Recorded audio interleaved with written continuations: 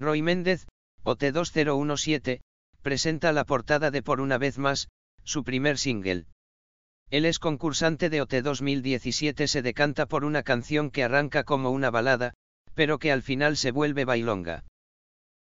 Los concursantes de OT 2017 ya están inmersos en sus trabajos personales y vamos sabiendo a cuentagotas cuáles son sus futuros proyectos. Miriam Rodríguez y Luis Cepeda han sido los primeros en lanzar sus primeros singles fuera del programa, Hay algo en mí y esta vez, respectivamente.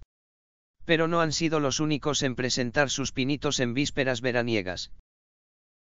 Roy Méndez ya anunció que su primer tema vería la luz el próximo 15 de junio, pero ha sido el lunes 11 cuando ha publicado en su cuenta de Instagram la portada de dicho single.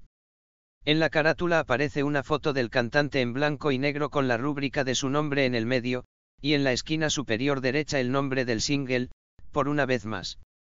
Encontramos cierta similitud al título de Cepeda, ya que comparten la palabra vez, pero si esta vez es un estilo pop similar a la música de Antonio Orozco o Manuel Carrasco, Roy tira por otro rumbo quiso dejar claro en un comunicado que parece una balada, pero va creciendo poco a poco hasta que rompe y se vuelve bastante bailonga.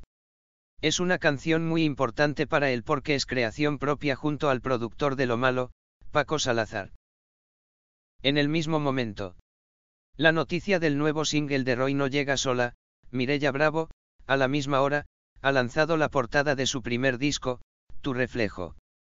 Con ella ya son cuatro los triunfitos que debutan profesionalmente en el panorama musical bajo el sello Universal Music a la espera de Ana Guerra, que anunció que lanzaría su primer single en junio, y de que Amaya Romero, Alfred García y Aitana Ocaña den alguna pista más sobre su trabajo.